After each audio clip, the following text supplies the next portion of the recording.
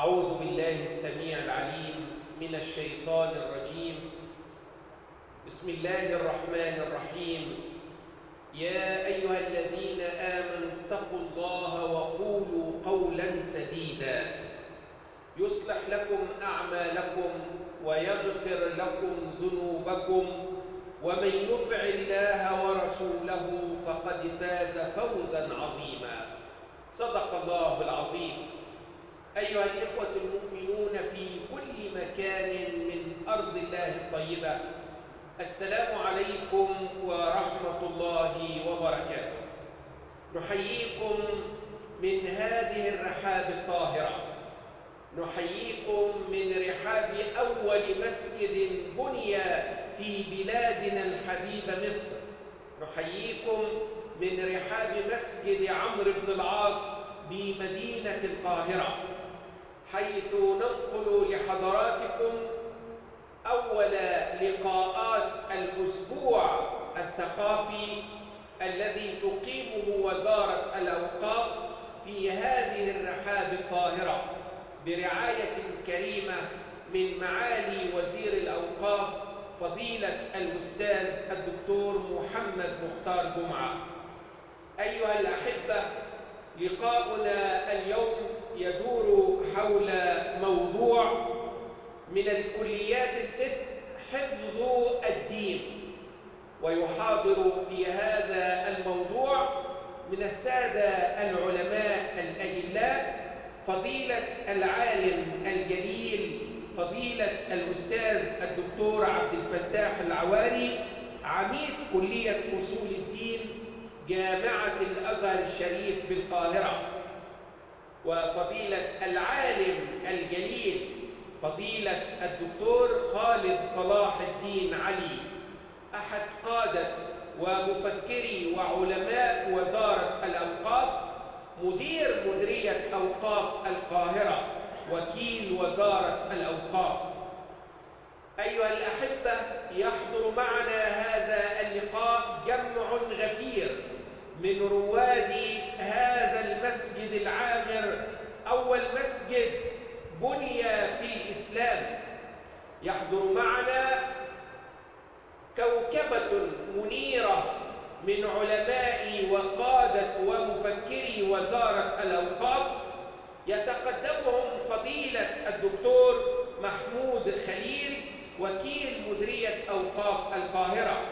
وفضيلة الدكتور منتصف محمود عبد المهيمن مدير الإدارات بمديرية أوقاف القاهرة وفضيلة الشيخ ربيع محمد محمود مسؤول المتابعة بمديرية أوقاف القاهرة.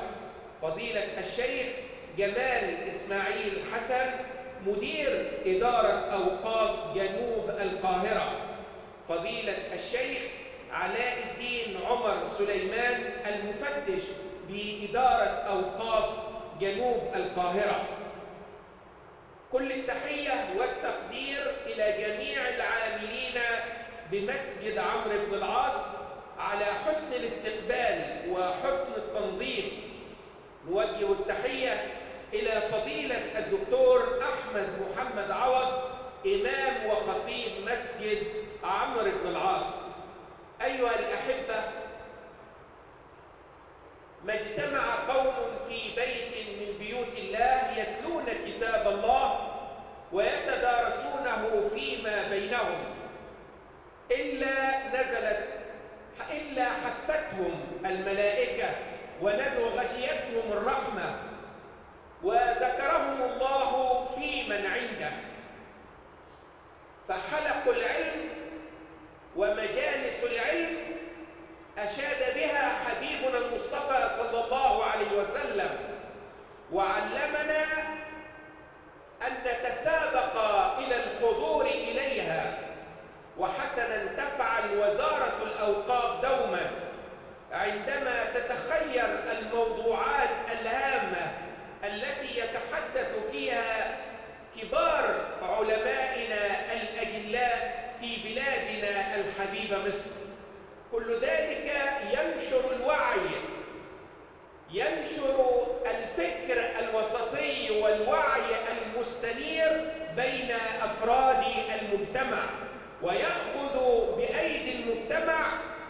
التقدم نحو السلام نحو الوئام نحو التماسك نحو الاصطفاف أيها الإخوة المؤمنون نبدأ أولى كلمات العلم وقد آثر فضيلة الدكتور عبد الفتاح العواري فضيلة الدكتور خالد صلاح الدين في أن يكون هو المتحدث الأول فنستمع إلى أولى كلمات العلم من فضيلة العالم الجليل فضيلة الدكتور خالد صلاح الدين علي مدير مديرية أوقاف القاهرة وكيل وزارة الأوقاف فليتفضل بسم الله الرحمن الرحيم الحمد لله رب العالمين. وأشهد أن لا إله إلا الله ولي الصالحين. وأشهد أن سيدنا ونبينا وحبيبنا محمدا رسول الله. اللهم صل وسلم وبارك عليه عدد من صلى عليه وعدد من لم يصل عليه. أما بعد أيها المشاهدون أيها المستمعون الأكارم كل عام أنتم بخير. في البداية أتقدم بخلص الشكر والتقدير لراعي هذا الحراك العلمي الثقافي الدعوي في ربوع مساجد جمهورية مصر العربية سعادة الأستاذ الدكتور محمد مختار جمعة وزير الأوقاف.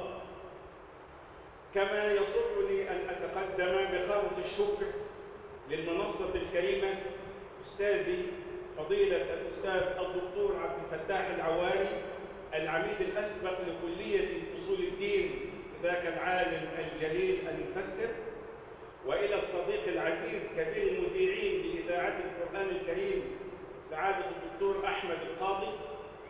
ولا يفوتني أن أتقدم بخالص الشكر والتقدير لحضراتكم على هذا الحضور. وكل الشكر والتقدير لزملائي أئمة المسجد وكل العاملين على رعاية هذا المسجد الطيب المبارك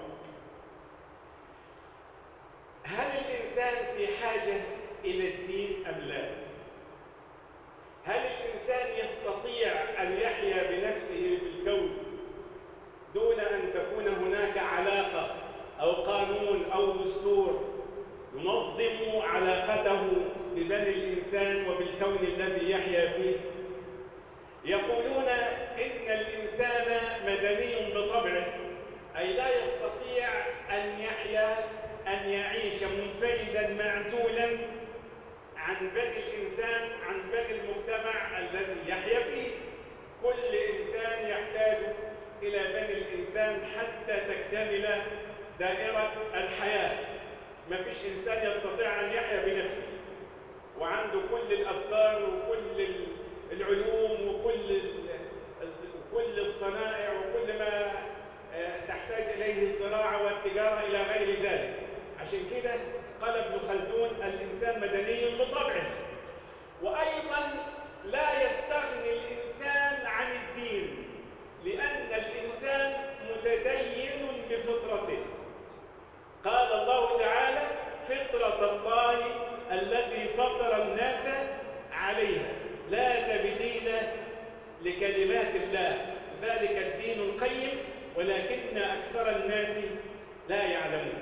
وقال صلى الله عليه وسلم ما من مولود إلا يولد على الفطر.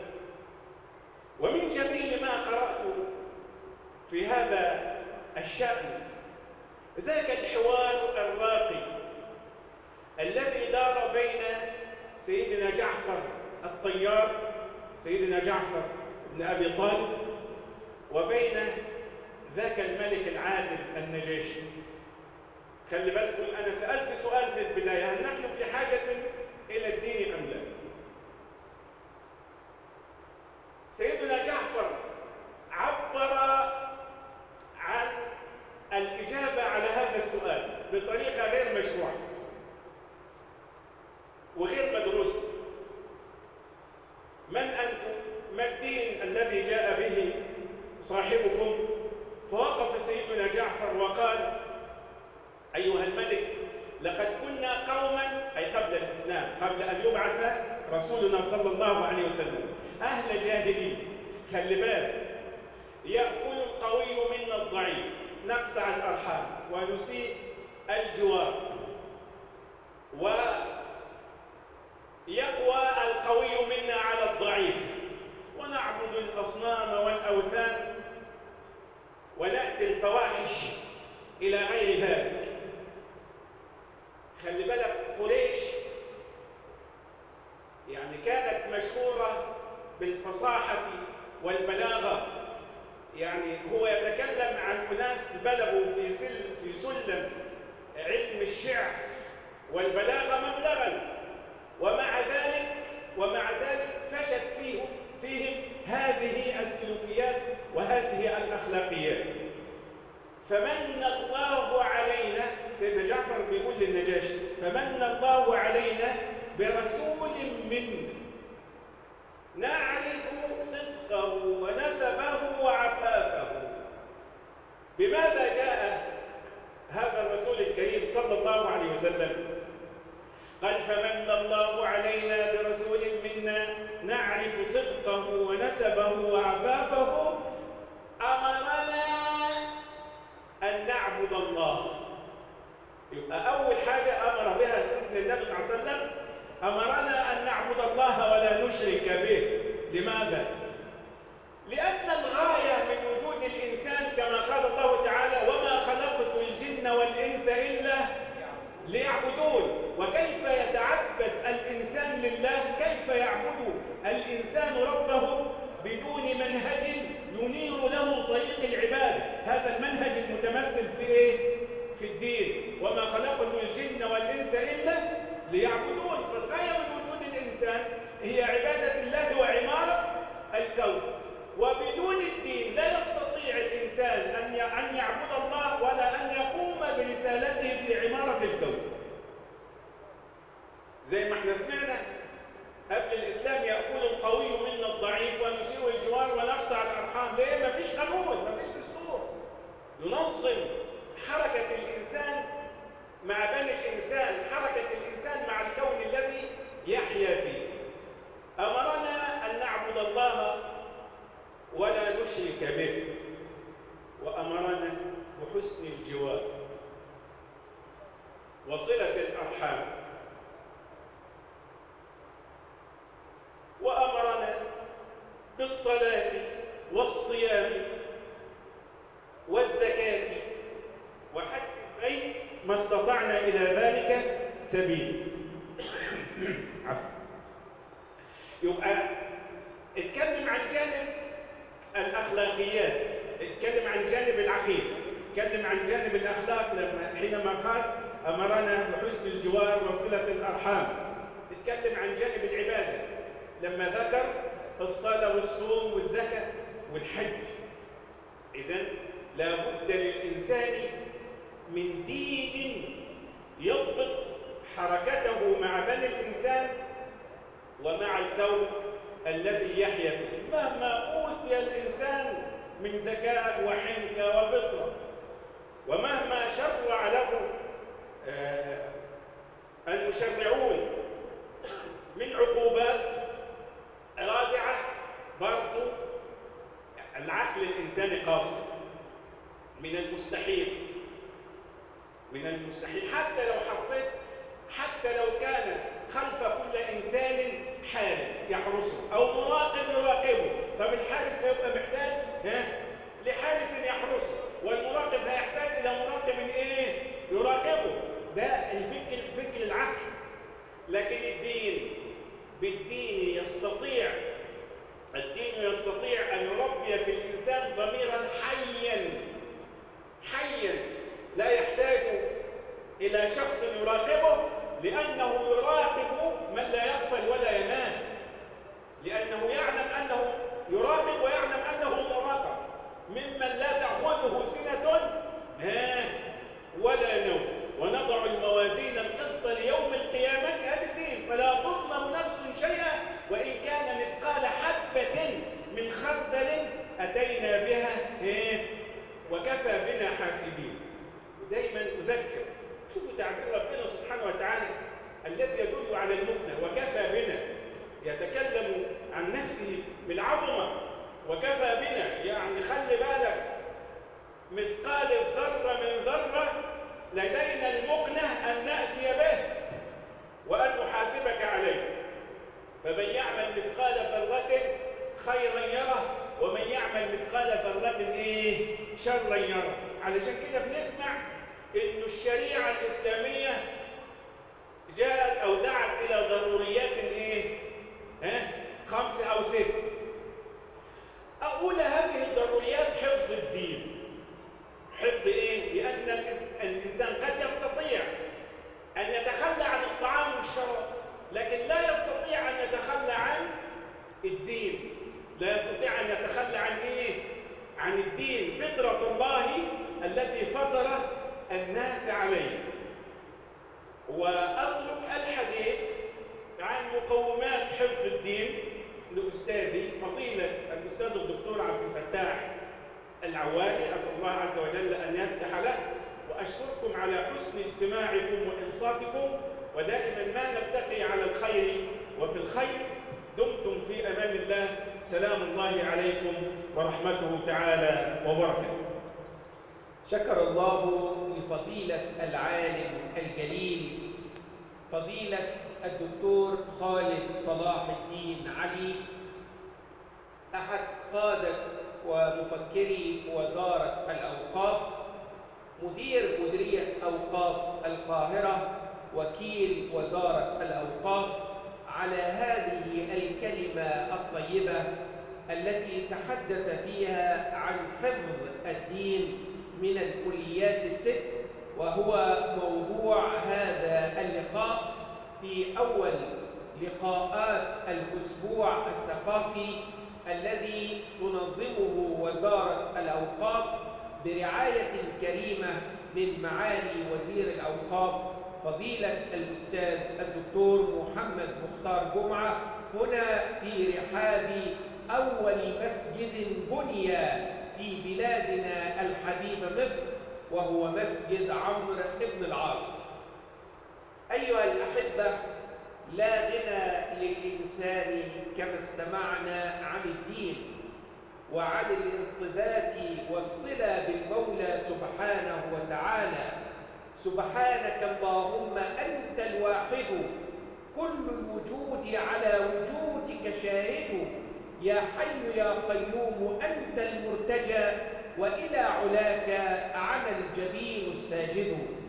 أيها الأحبة ما زلنا نستظل بظلال شهر ربيع الأول شهر مولد الحبيب المصطفى صلى الله عليه وسلم الذي جاء إلى الدنيا فملأها أمنا وأمانا وسلاما وحرية وعدالة وديمقراطية. جاء حبيبنا المصطفى صلى الله عليه وسلم إلى الدنيا فقاد سفينة العالم الحائرة بين عبادة الأصنام وعبادة الأوثان وعبادة النجوم وعبادة الكواكب والنار والأبقار والأشخاص إلى شاطئ الله رب العالمين إلى عبادة الواحد الأحد الفرد الصمد. أيها الأحبة مع فضيلة العالم الجليل فضيلة الأستاذ الدكتور عبد الفتاح العواري عميد كلية أصول الدين جامعة الأزهر الشريف السابق بالقاهرة فليتفضل وحديثه أيضا حول حفظ الدين من الكليات الست.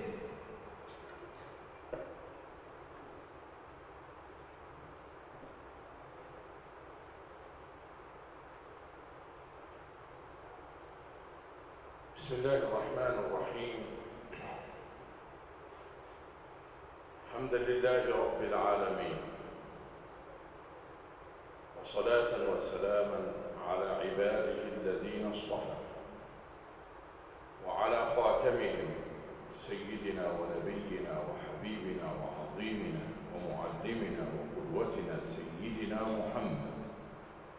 صلى الله عليه وعلى آله وصحبه ومن اهتدى بهديه وتمسك بسنته إلى يوم الدين. وبعد. فضيلة الأستاذ الدكتور خالد صلاح علي وكيل وزارة الأوقاف مدير مديرية أوقاف القاهرة.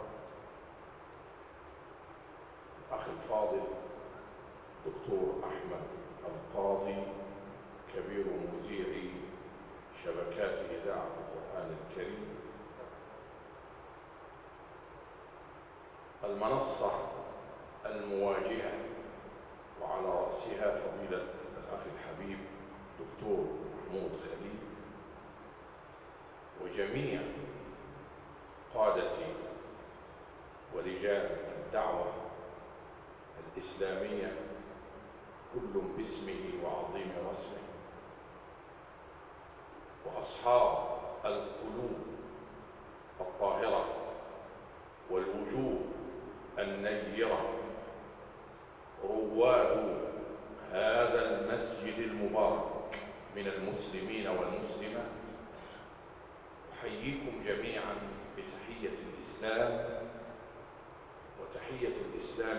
هي السلام فسلام الله عليكم ورحمته تعالى وبركاته. حسنا ما تصنع وزارة الأوقاف من إقامة مثل هذه الأسابيع الثقافية الفكرية الدعوية برعاية كريمة من فضيلة الأستاذ الدكتور محمد مختار جمعة. وزير الأوقاف حفظه الله تعالى.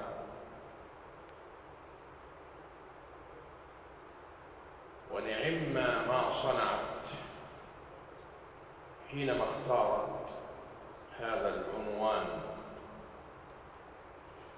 الهام لبداية هذا الملتقى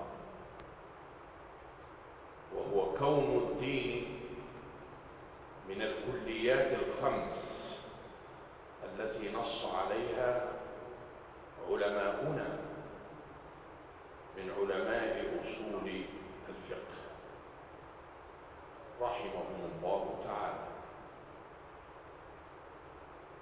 والذي يستقرئ عبارات هؤلاء الأئمة يراهم يجعلون الدين أولى ضروريات وأولى تلك الكليات التي لا بد من المحافظة عليها من هذا الإنسان المكرم الذي كرمه الله تبارك وتعالى ولم يتركه هملا بل أرسل إليه الرسل مبشرين ومنذرين لئلا يكون للناس على الله حجة بعد الرسل. فالدين هو الخضوع والانقياد والاستسلام لإله واحد لا شريك له. وخضوعك وتسليمك وانقيادك لإله واحد لرب واحد. تلك نعمة كبرى تحمد الله عليها أن جعلك مسلما قيادك وزمامك لإله واحد وليس لآلهة متعددة تختلف فيك فمنهم من يريد أن يريحك ومنهم من يريد أن يتعبك منهم من يريد أن يرزقك ومنهم من يريد أن يمنع عنك الرزق منهم من يريد لك الحرية ومنهم من يريد لك العبودية والرق فتصبح عبدا مملوكا لآلهة متعددة تتنازعها الأهواء فلا يجد المملوك ممن يملكونه سوى الشتات والتفرق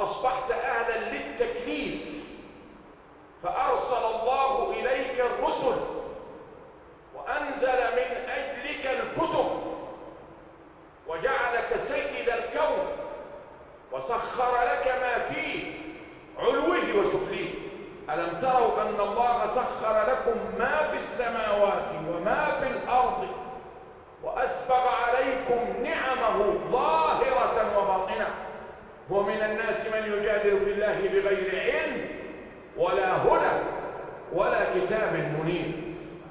أيها الموحد أيها المسلم يا من أصبحت عبدا لله فحققت بتلك العبودية قمة الحرية. وكنت سيدا للكون أنت عبد لربك سيد على الكون الذي وجدت فيه. ومن هنا حينما نقرأ أواخر سورة الأنعام قل إنني هداني ربي. قل خطاب للرسول صلى الله عليه وسلم الذي جاء إلى الحياة فرفع قدر الحياة. جاء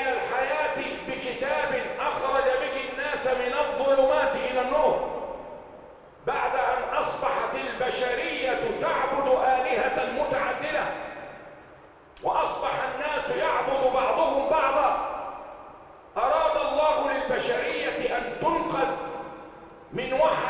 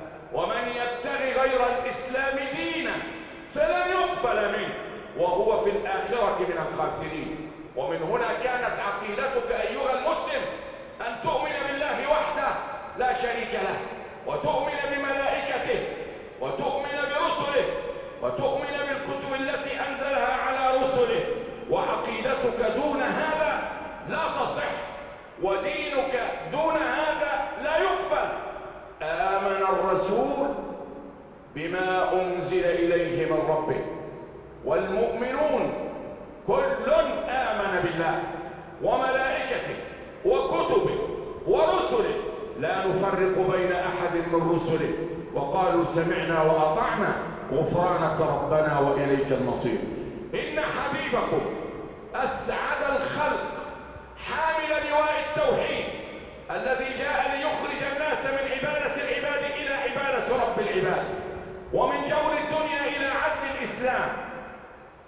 يقول لنا في الحديث الصحيح عيسى ابن مريم أخي في الدنيا والآخرة نحن معاشر الأنبياء بنو علات أي بنو ضرائب وهذا تعبير الكناية فيه عن كون كل نبي بعث إلى زمن وإلى قوم هذا معنى بنو علات أمهاتنا شتى أي أزمنتنا مختلفة وماذا يا رسول الله وديننا واحد وهو إيه اقرأوا إن شئتم شرع لكم من الدين ما وصى به نوحا والذي أوحينا إليك الضمير يعود على من؟ على سيدنا وسيدكم سيدنا محمد شرع لكم من الدين ما وصى به نوحا أبو الأنبياء شرع لكم من الدين ما وصى به نوحا والذي أوحينا إليك وما وصينا به إبراهيم وموسى وعيسى أن أقيموا الدين ولا تتفرقوا فيه. كبر على المشركين ما تدعوهم إليه. الله يجتبي إليه من يشاء ويهدي إليه من يريد يبين لنا النبي صلى الله عليه وسلم معنى هذه الآية.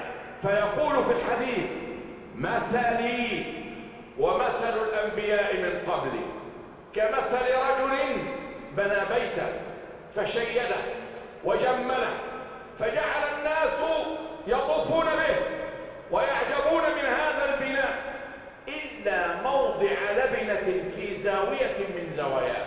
فيقول الناس هلا وضعت هذه اللبنة؟ فيقول صلى الله عليه وسلم أنا اللبنة وأنا خاتم النبيين. فاق النبيين في خلق وفي خلق ولم يدانوه في علم ولا كرم. ومبلغ العلم فيه أنه بشر وأنه خير خلق الله كلهم أيها السادة الفضلاء حافظوا على عقيدتكم علموا أولادكم والناشئة فيكم تلك العقيدة وأعلموهم أن تلك العقيدة هي عقيدة سائر الأنبياء والمرسلين. وأن من تذكر لها أو من تنحى عنها ليس له حظ في الدنيا ولا في الآخرة. وأنه هالك وأقرئوهم وأسمعوهم قول ربكم. إن الذين يكفرون بالله ورسله ويريدون أن يفرقوا بين الله ورسله ويقولون نؤمن ببعض ونكفر ببعض ويريدون أن يفرقوا بين أن يجعلوا بين ذلك سبيلا أولئك الذين لعنهم الله ومن يلعن الله فلن تجد له نصيرا.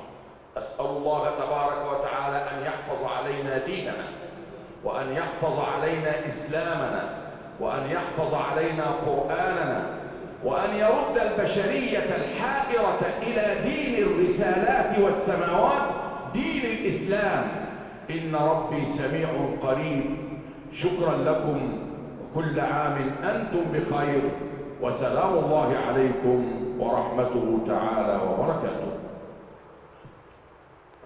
شكرا لفضيلة العالم الجليل فضيلة الأستاذ الدكتور عبد الفتاح العواري عميد كلية أصول الدين جامعة الأزهر الشريف بالقاهرة السابق على هذه الكلمة